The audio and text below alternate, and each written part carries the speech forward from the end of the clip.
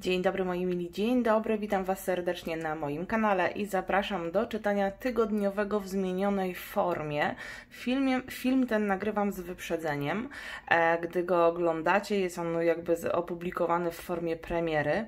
E, ja robię sobie króciutki odpoczynek e, od czytań i od prowadzenia kanału. Do standardowych czytań przejdziemy z powrotem e, z końcem lipca. Mm, I teraz tak, odpowiadać będę na te same pytania, co zazwyczaj e, w czytaniach tygodniowych dla Was, w czytaniach siedmiodniowych dla Was, natomiast Wy wybierzcie sobie proszę talię.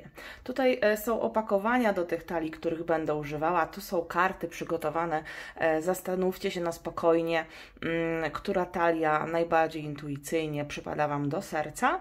I ja przejdę do czytania. Zaczynam od lewej strony.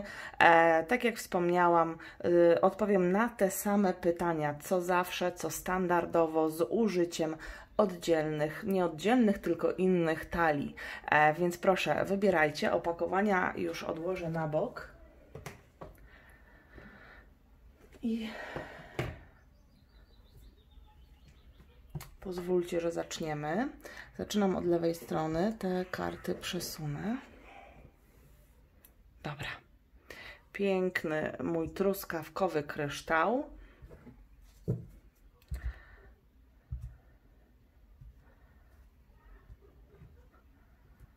Ok.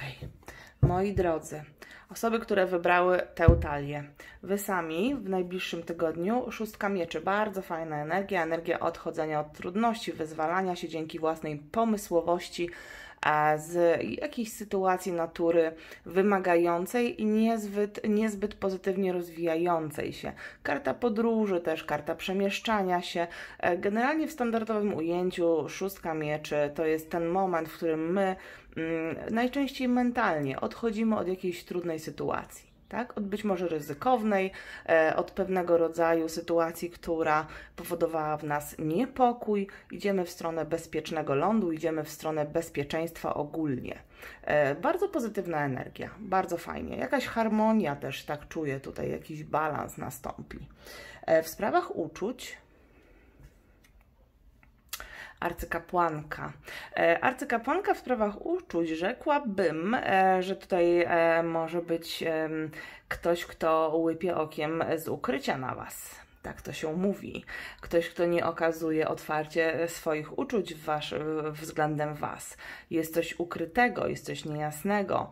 E, tutaj, jeśli chodzi o. E, natomiast, moje drogie panie, to od razu muszę powiedzieć, jeśli Wy czujecie, że macie wokół siebie adoratora, który działa dosyć niejednoznacznie, na przykład, to tutaj uważam, że intuicja Was nie pomyli, intuicja Was nie zawiedzie, to chciałam powiedzieć.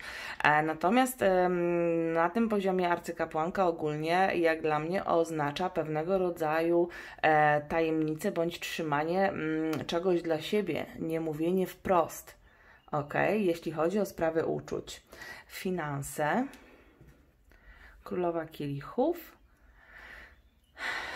Co, pierwsza moja myśl, jeśli chodzi o królową kielichów i finanse, to jest kochana moja, kochany mój, skorzystaj troszeczkę z tych finansów, żeby zadbać o siebie, żeby zrobić sobie jakąś przyjemność, ale to było e, na marginesie, bo e, ważniejsza wiadomość jest taka, że te wszystkie aspekty, co do których Wy e, wkładacie sporo pasji, angażujecie się niewątpliwie, które mm, są spójne z Waszą duszą, z Waszą intuicją, te wszystkie aspekty w zakresie finansów, które zechcecie rozwijać, na które chcecie zwracać szczególną uwagę, to moim zdaniem będzie miało sens będzie miało sens. Królowa Kielichów kocha to, co robi. Kocha to, co robi. Tu jest jakaś forma, powiedzmy sobie, e, powiązania, e, jakby generowania zasobów z tym, że wkładamy w to nasze serce. A co w pracy w ogóle? Dziewiątka kielichów, właśnie.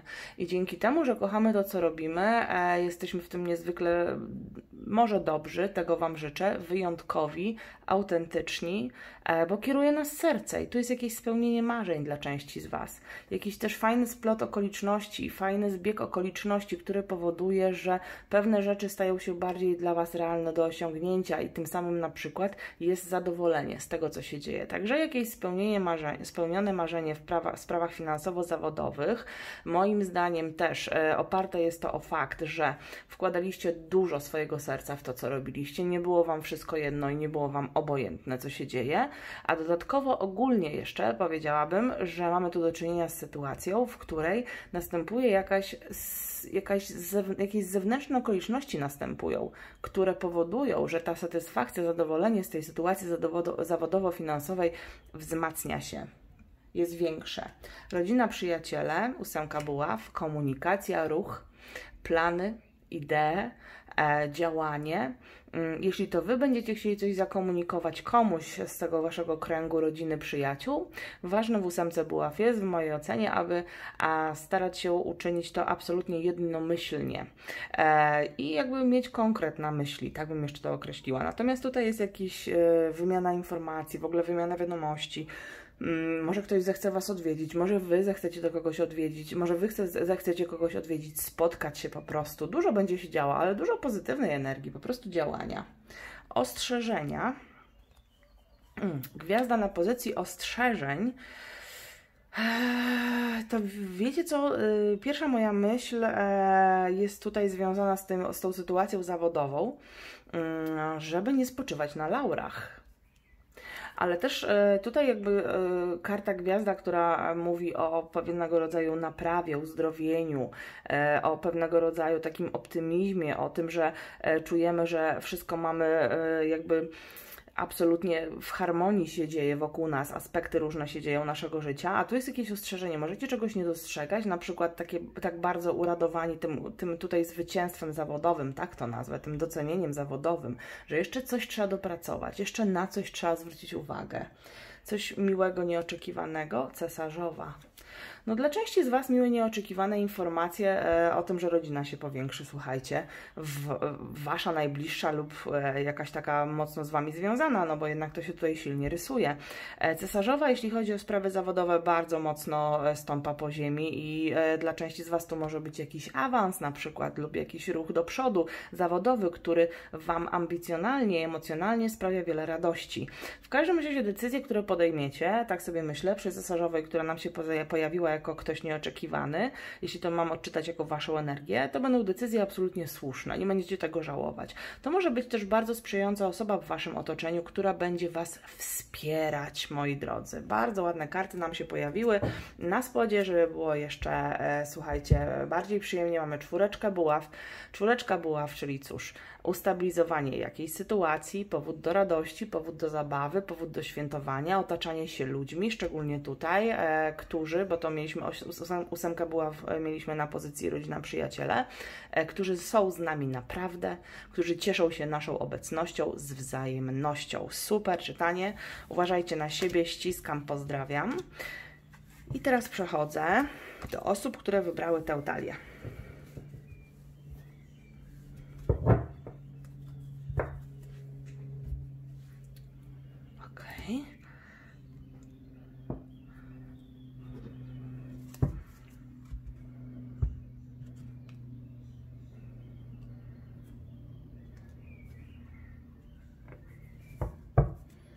Dobra. Wy sami, forma samopoczucie, a karta wstrzemięźliwości, karta cierpliwości, czyli jakby pierwsza myśl zupełnie analogiczna, no nie trzeba być Einsteinem, żeby e, określić jasno, że Tutaj prośba jest, żeby się przyglądać temu wszystkiemu, co się dzieje. Ten człowiek na ilustracji przygląda się temu ziarenku, z któremu kiełkuje ten piękny kwiat. Ma w sobie cierpliwość, żeby o coś dbać, o coś troszczyć się wyjątkowo być może.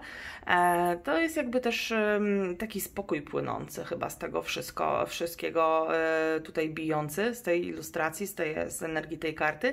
Mm, dodatkowo powiedziałabym, że może część z Was po prostu będzie wolała się e, w najbliższym tygodniu przyglądać sprawom a, i zachować pewnego rodzaju wstrzemięźliwość w działaniu. I to jest taka energia wprowadzająca. E, następnie sprawy uczuć, trzy kielichy. E, słuchajcie, no powód do radości, niewątpliwie. E, trzy kielichy to również zjednoczone, zjednoczenie, ponowne połączenie, e, więc dla części z Was tutaj są jakieś dobre wiadomości, które sprawiają Wam satysfakcję emocjonalną. Może ktoś, z kim dawno się nie widzieliście, a jest dla Was ważny pod względem uczuć, jakby objawia się w tym tygodniu, jest powód do radości, do zabawy. Dla części z Was, słuchajcie, no jest jakaś impreza, może warto wyjść single moje na tę imprezę, imprezę, e, trochę pobawić się ze znajomymi, poświętować, e, możecie poznać kogoś e, w czasie, w czasie tego wydarzenia, więc zwróćcie na to w ogóle uwagę. Natomiast ogólnie radość i ogólnie taka, powiedziałabym, dosyć nieformalna atmosfera, jeśli chodzi o sprawy uczuć i duże powodów do radości z jakiegoś powodu. Finanse cesarzowa. No w finansach to jakby cesarzowa mówi, że masz sobie te możliwości, mój drogi słuchaczu, do tego, żeby zdecydować konkretnie, czego chcesz i czego nie chcesz, żeby podejmować świadome decyzje.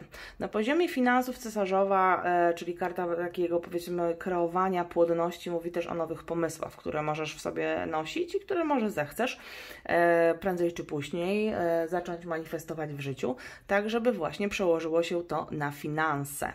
A w co w ogóle w pracy? Mhm. Utworzysz fundament. Fundament pod jakieś działania. E, jeśli to jest, e, powiedzmy sobie, obecna Twoja sytuacja zawodowa, to powiedziałabym, że swoją, swoim doświadczeniem i swoim zdecydowaniem e, w zakresie, co jest korzystne, a co nie w danej dziedzinie, w danej sprawie, będziesz w stanie ustrukturyzować jakąś sytuację, unormować jakąś sytuację, bądź właśnie nadać jej fundament, jakiegoś rodzaju porządek. Rodzina, przyjaciele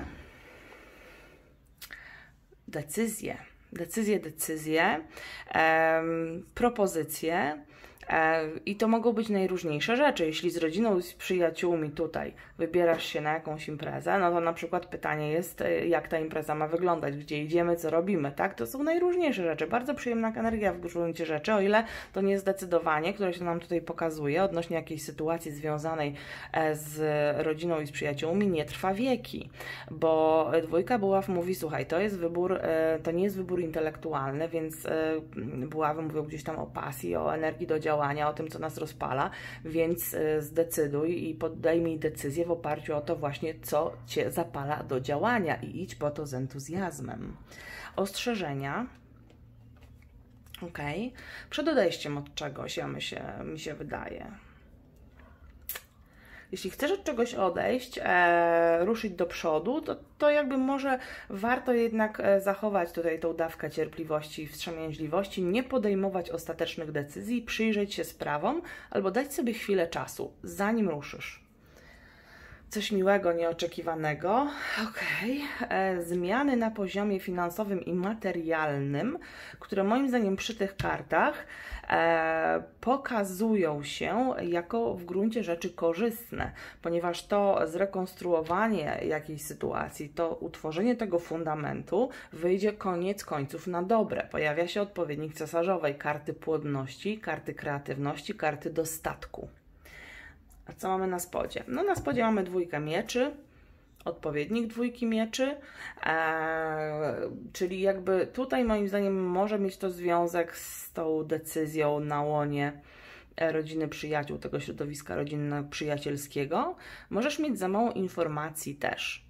Więc pamiętaj o intuicji. Intuicja ma znaczenie i tak jak mówię, i, mm, a jak jesteś w takiej sytuacji, w której w ogóle trudno jest ci zebrać informacje, no to pogadaj sam ze sobą, czy tego chcesz, czy nie. Czy to w ogóle jest, ma sens rozpalać do działania, czy to cię jakoś mobilizuje do działania, czy to współgra z tobą, czy w ogóle ta propozycja, która pada lub ten wybór, którego musisz dokonać, jest kompletnie nie z twojej bajki. Bardzo Wam dziękuję, moi mili. Uważajcie na siebie i zapraszam osoby, które wybrały ostatnią talię. Dobra. Cytrynowy kryształ.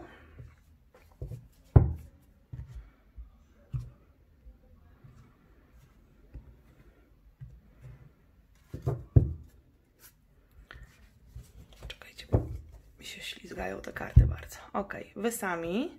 Ósemka kielichów, nie kielichów, mieczy. Nie wiem, czemu powiedziałam kielichów Osiem mieczy, słuchajcie, ograniczenia, ale te ograniczenia są tylko i wyłącznie w waszych umysłach.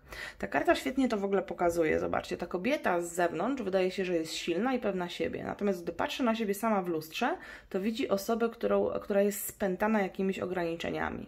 Jest to kwestia po prostu właśnie wyzwolenia się z tego, jak postrzegamy pewną sytuację. Ja często powtarzam, że to jest pewnego rodzaju negatywne nastawienie, które, jakby, o którym za dużo myślimy i nie konfrontujemy tego ze stanem faktycznym, nie konfrontujemy tego z rzeczywistością. Tym samym więc e, jaka, bystry intelekt pomoże Wam wyjść z tych ograniczeń. I ważna będzie też komunikatywność z innymi, żeby tę sytuację rozstrzygnąć. ok? Wychodzenie spoza własnych ograniczeń, odwaga też w jakimś znaczeniu. E, ale mogą być w ogóle jakieś ograniczenia. Możecie sobie zdawać sprawę z ograniczeń w przyszłym tygodniu, które zaistnieją, zaistniały być może w Waszym życiu, ale zaraz sprawdzimy, co dalej. E, sprawy uczuć, dziewiątka buław. Mhm. W dziewiątce buław mamy, słuchajcie, kogoś, e, kto stara się nie poddawać, myśleć o przyszłości, myśleć o miłości, może o idealnej miłości. To już naprawdę bardzo zależy, e, o jakiej sytuacji to konkretnie mówimy. Ale mamy też tutaj kogoś, kto sporo już przeżył. Dlatego właśnie e, ten mur z tych buław, który został tutaj stworzony przez tą osobę, ona tam się po prostu bezpiecznie i komfortowo czuje, nie jest tutaj bez powodu. Zanim ten mur opadnie, musi po prostu upłynąć trochę czasu, albo sytuacja um, musi się, powinna się stać w jakimś znaczeniu dla Was na tyle bezpieczna i tyle, na tyle komfortowa, żeby się otwierać coraz bardziej i coraz bardziej. Więc na uczucia, na kwestie romantyczne jest tu trochę zamknięcia, tak? Ale to nie jest negatywne i nie oznacza to, że się nigdy nie otworzycie albo że się w tym tygodniu na nikogo nie otworzycie. Nie, to jest ostrożność. To jest ostrożność. E, finanse, ale też z drugiej strony ostrożność, ale też zobaczcie, odwaga do tego, żeby jednak się nie poddawać i myśleć o przyszłości i chęć do tego, żeby pójść naprzód z uczuciami finanse, zmiana, to zobaczymy też pracę, ok? A smieczy, ok. No to ta zmiana, powiedziałabym, wyjdzie na dobre. Dlaczego? Dlatego, że e, as mieczy to jest ten nowy pomysł, nowy, nowa idea, nowy początek, niezwykle e, silnie e, intelektualna e, energia taka w punkt, która niszczy jakąś iluzję która niszczy, e, czy też jakby rekonstru będzie rekonstruowane e, coś, co było kompletnie, nie miało racji bytu, tak? Albo było zbudowane na kompletnie nietrafionym fundamencie, czy prędzej, czy później i tak by się kompletnie rozwaliło w całości lub w części, więc ta wieża by runęła. Więc to może być taki moment, w którym wy jakby absolutnie zdajecie sobie sprawę, że coś musi zostać zmienione, ponieważ nie działa w tej formule, w jakiej zostało to zbudowane, wypracowane. A tutaj ten miecz, ja często powtarzam na kanale, reprezentuje wasz intelekt. Tak długo jak nastawicie się na sukces, to uda wam się to przeformułować. A jeśli to się zdarzy jakoś tam poniekąd, e, również niezależnie od czynników zewnętrznych, okay? że jeszcze jakiś czynnik zewnętrzny będzie, spowodował, będzie powodował tę myśl w Was, że trzeba coś zmienić, to absolutnie doskonale się w tym odnajdziecie. Będziecie mieli bardzo jasną, e, taką klarowną wizję tego, co trzeba zmienić, jak trzeba sprawy naprawić, jak trzeba sprawy zrekonstruować i co się w ogóle wydarzyło. Następnie rodzina, przyjaciele, słońce, pięknie.